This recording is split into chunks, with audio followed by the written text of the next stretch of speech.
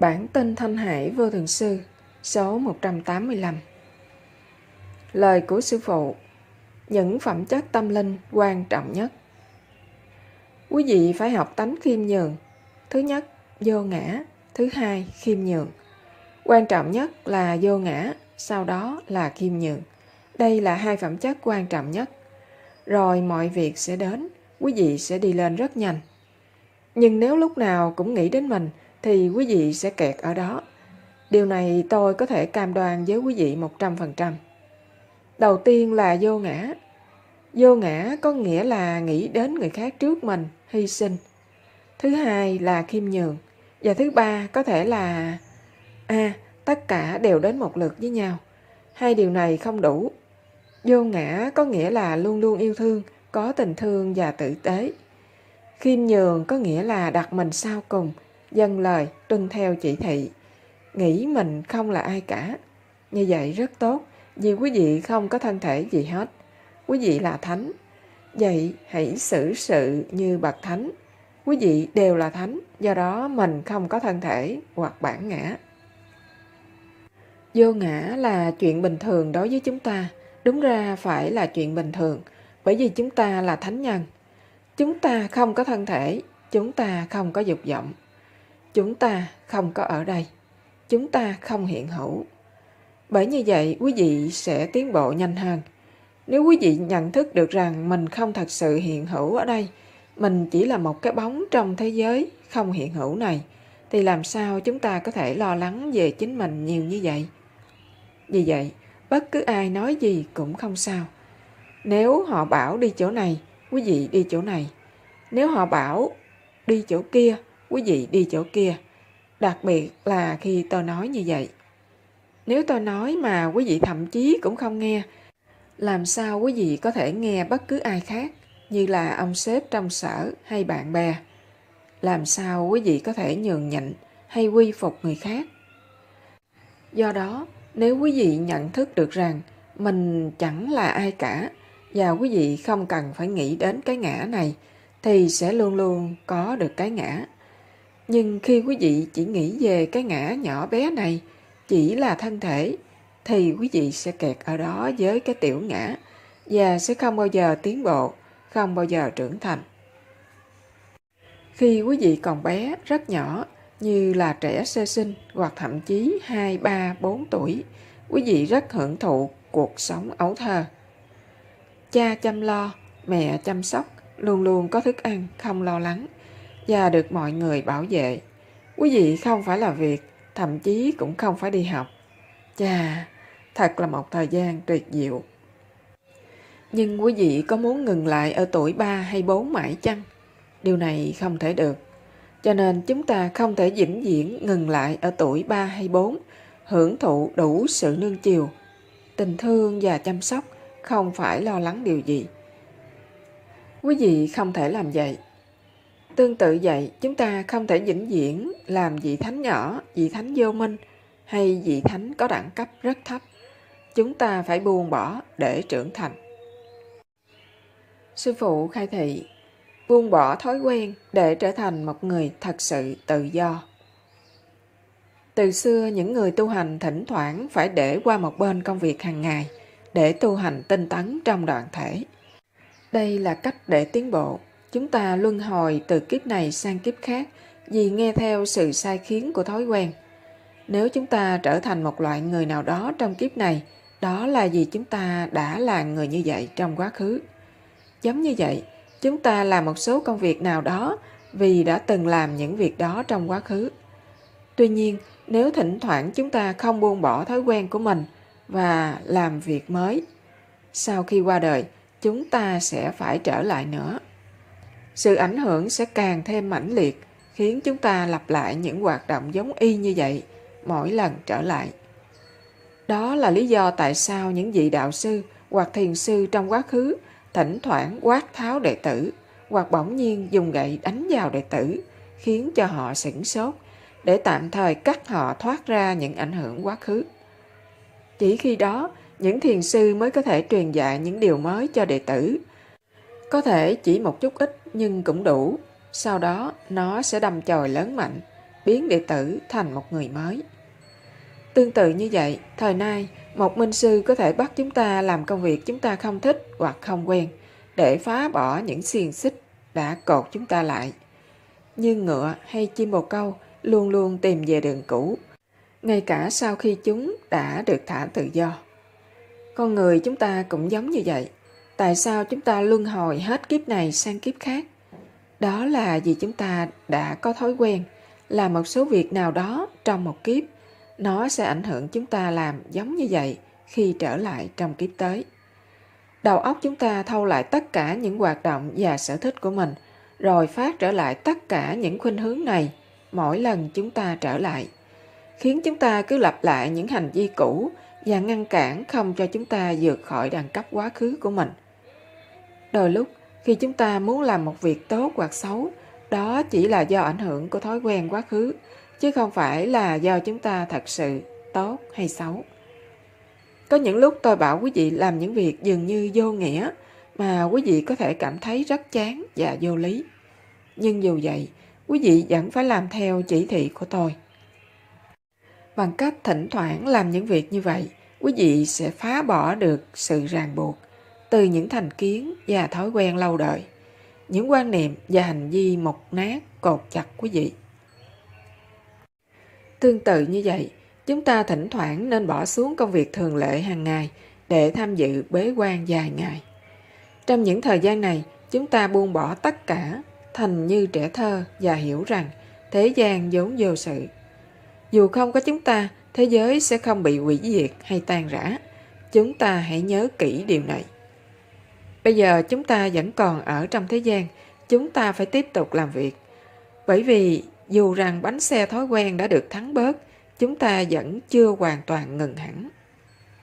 Phải mất một thời gian để cho bánh xe ngừng lại. Nếu đạp thắng quá mạnh, xe sẽ bị xoay khiến cho chúng ta bị nguy hiểm. Vì đã ở trong thế gian rồi, chúng ta phải tiếp tục sống và làm tròn bổn phận của mình. Tuy nhiên, chúng ta nên hiểu rằng đây chỉ là đà quán tính của những thói quen trong quá khứ, chưa ngưng hẳn. Ngoài việc làm những việc đã quen thuộc với mình, chúng ta phải thêm vào những điều mới. Bằng không, chúng ta sẽ trở lại và lặp lại những việc cũ như là một người thợ mộc hay một người lính đánh trận. Cho dù không trở thành lính đánh trận, chúng ta vẫn còn giữ tính độc tài, quyết đoán. Vì vậy, quý vị không nên luôn luôn nghe lời đầu óc. Khi tôi bảo quý vị làm việc gì, quý vị nên làm theo như vậy. Hoàn toàn chú tâm vào công việc và tập trung để hoàn tất công việc. Theo cách này, những ảnh hưởng quá khứ sẽ tạm thời được cắt bỏ. Bằng không, chúng sẽ tiếp tục lặp lại và quý vị sẽ phải trở lại nữa. Trong khi làm việc, chúng ta không nên phán đoán công việc là tốt hay xấu. Khi chúng ta có tâm phân biệt hay chọn lựa thì sẽ có rắc rối. Một khi chúng ta thích việc này hơn việc khác, đầu óc lập tức bắt đầu thâu vào. Nói rằng, à, anh ta thích việc này. Rồi khi chúng ta trở lại kiếp sau, băng thâu này sẽ phát trở lại. Lòng ưa thích của chúng ta tạo nên luân hồi. Nếu chúng ta không có sự chọn lựa trong khi làm việc, chúng ta sẽ làm mà không làm và không bị ràng buộc. Vì lý do này, điều quan trọng là thỉnh thoảng chúng ta nên bỏ xuống mọi việc và cùng nhau đi bế quan trong vài ngày. Sự thực hành này có lợi ích lớn nhất cho những ai chưa hoàn toàn khai ngộ. Dù rằng chúng ta thiền tại nhà mỗi ngày, đầu óc vẫn chứa đầy những tư tưởng hỗn loạn, và chúng ta cũng phải phấn đấu chống lại rất nhiều thói quen, nên không hữu hiệu lắm. Không có sự hướng dẫn của một minh sư khai ngộ, thật sự là mỗi ngày chúng ta chỉ lặp lại cùng một phản ứng. Khi có ai gọi, chúng ta quay lại nhìn. Khi bị la mắng, chúng ta nổi giận. Khi có ai nhìn mình với cặp mắt yêu thương, tim chúng ta đập mạnh. Chúng ta làm những điều ngớ ngẩn này suốt cuộc đời, luôn luôn bị hoàn cảnh bên ngoài kiểm soát, bị đầu óc lừa gạt và bị ràng buộc bởi những ảnh hưởng trong quá khứ. Cho nên chúng ta không thật sự tự tại và không có cá tánh riêng biệt. Quý vị không nghĩ điều này thật thảm sao? Chúng ta giống như là con bò bị xỏ mũi. Cho nên đừng nghĩ rằng chúng ta đã được tự do rồi. Đôi lúc chúng ta phải bỏ xuống tất cả và thiền nhiều hơn để cho phép lực lượng tận cùng bên trong xuất hiện và rửa sạch những khuynh hướng quá khứ. Chỉ khi đó chúng ta mới có thể sống trong tự do. Bằng không, chúng ta sẽ bị ràng buộc bởi thói quen và lặp lại những hành động giống nhau từ kiếp này sang kiếp khác. Chồng, vợ, cha mẹ, con cái và bạn bè mà chúng ta có trong hiện tại, cũng là thân nhân và bạn bè của chúng ta trong quá khứ, hay có liên hệ với chúng ta qua cách nào đó. Thí dụ như, họ có thể là sếp của chúng ta trong tiền kiếp. Những người đã từng có ảnh hưởng sâu đậm đối với chúng ta sẽ trở lại trong kiếp này để thống trị chúng ta lần nữa. Hoặc là trước đây, chúng ta đã thống trị họ, nên chúng ta trở lại để thống trị họ lần nữa trong kiếp này. Khuynh hướng quá khứ giống như là một bánh xe cứ quay mãi mà chúng ta không thể dừng lại được. Cho nên, thỉnh thoảng chúng ta phải thêm thành phần mới và hành động mới để tạm thời cắt đứt khuôn mẫu cũ đã ghi lại trong đầu óc. Chỉ khi đó bánh xe sẽ ngưng lại và chúng ta mới có cơ hội để suy ngẫm những câu hỏi như là tôi thật sự là ai và tại sao chúng ta hiện hữu nơi đây. Bằng không, chúng ta chỉ bận rộn làm cùng một công việc mỗi ngày giặt quần áo, ăn uống, vân vân và bị hoàn cảnh bên ngoài khống trị, trong khi đời sống chúng ta toàn là sự đau khổ và vô ý nghĩa. Nếu chúng ta cứ sống như vậy suốt cuộc đời thì thật là đáng thương. Từ thời xưa, tất cả những bậc hiền triết và thánh nhân có khả năng nhận thức chính mình, hiểu được quá khứ và tương lai, đạt được sự khai ngộ và giải thoát bởi vì họ đã dành thời giờ để suy tưởng. Ngược lại, Chúng ta chỉ giống như là nô lệ và thú vật, làm bất cứ những gì người khác bảo mình làm. Chúng ta quay đầu lại khi có ai gọi và nổi giận khi bị mắng. Tất cả mọi người đều cư xử giống hệt nhau. Điều này thật vô lý. Bây giờ chúng ta thấy đã quá đủ với tình trạng này. Chúng ta cần phải đứng dậy, chống lại đầu óc và tự hỏi Tại sao tôi cứ làm mãi những việc vô ý nghĩa này suốt đời vậy? Câu chuyện của Milarepa Nỗ lực khổ nhọc của Minh Sư để giáo hóa đệ tử Minh Sư không cần đệ tử của họ làm việc gì mà chỉ muốn giáo hóa đệ tử. Dù họ biết học trò rất chán ghét những công việc nào đó, Minh Sư vẫn bảo họ làm. Huấn luyện đệ tử thật sự là một công việc cực nhọc. Thí dụ quý vị đều biết câu chuyện của Milarepa và đều thương hại ông. Tuy nhiên, theo ý tôi, sư phụ ông mới thật là đáng thương, bởi vì Milarepa rất độc ác khi còn nhỏ. Chỉ vì người nào đó ăn trộm tài sản của ông, ông theo lời mẹ đi học hát thần thông để trả thù và giết hết kẻ thù. Phải mất nhiều năm mới tinh thông được phép thần thông này, nhưng trong thời gian này, ý tưởng giết người luôn ở trong tâm trí ông. Điều này gọi là chủ tâm sát hại, biểu lộ rằng ông rất độc ác, ngoan cố và không có tình cảm. Sự sợ hãi địa ngục chỉ nổi lên sau khi ông đã làm việc sát nhân và vị thầy dạy hắc thần thông cho ông biết về nghiệp quả của những hành động này. Do đó, Milarepa tìm một minh sư khai ngộ chỉ vì sợ địa ngục chứ không phải vì lý tưởng cao thượng như những A-la-hán hay Bồ Tát như quý vị. Thầy của Milarepa phải dạy dỗ những người như ông ta. Theo luật pháp thời đó, những người như Milarepa lẽ ra phải bị án tù chung thân khổ sai.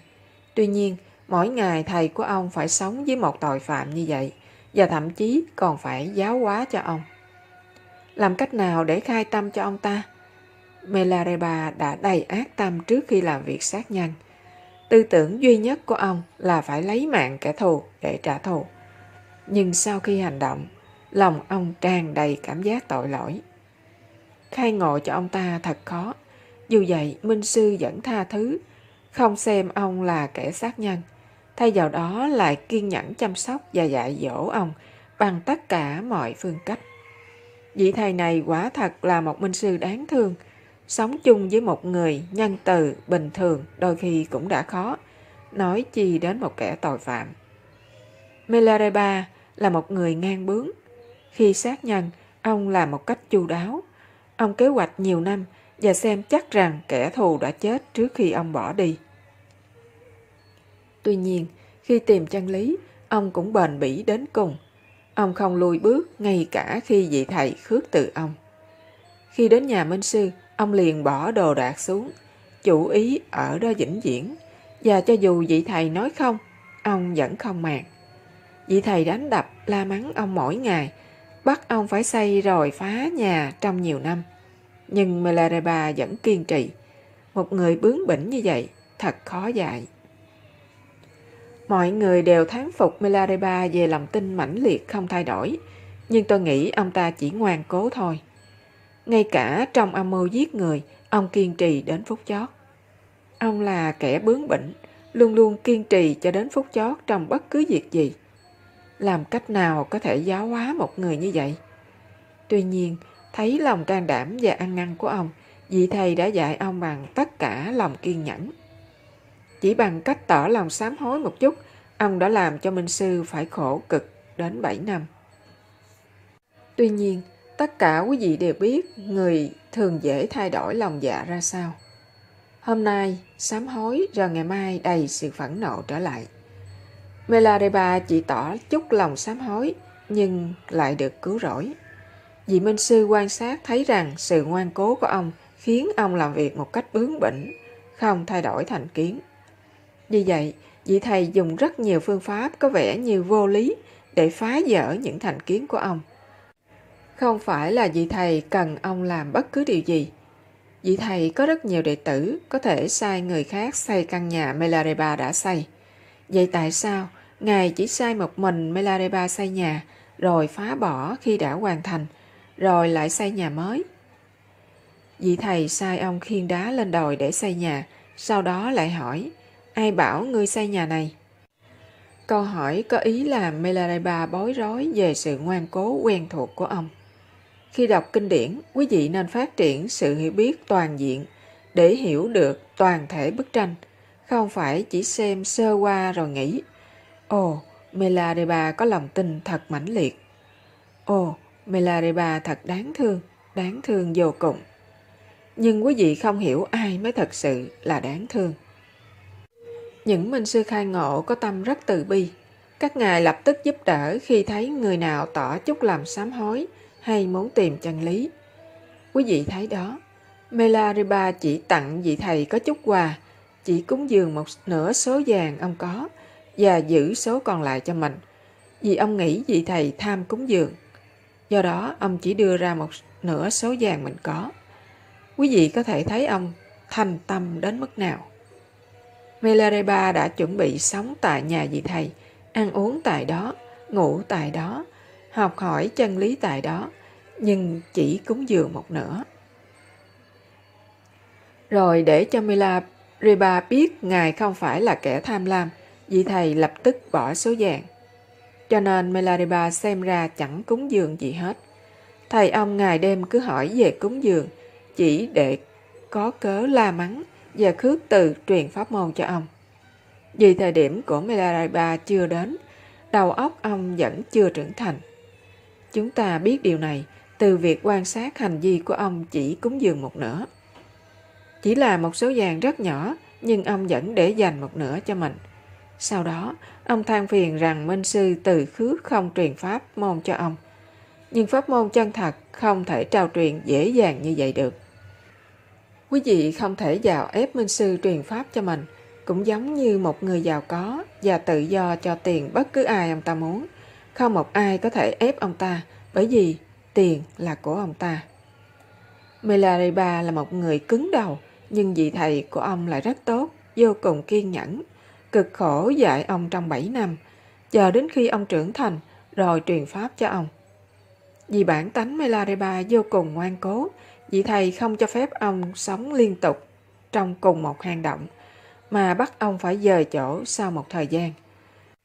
Sự tu khổ hạnh như vậy không thích hợp với tất cả mọi người, cho nên đừng nghĩ rằng chúng ta có thể đạt được chân lý chỉ bằng cách tu hành theo kiểu của Melareba.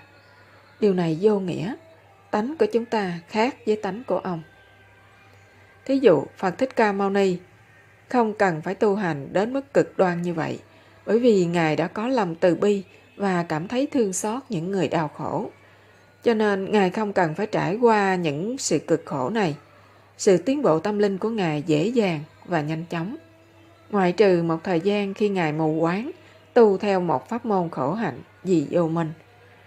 Ngài thấy nhiều người tu khổ hạnh và không biết cách nào khác. Chỉ sau đó, Ngài mới hiểu rằng tu những pháp môn này là sai.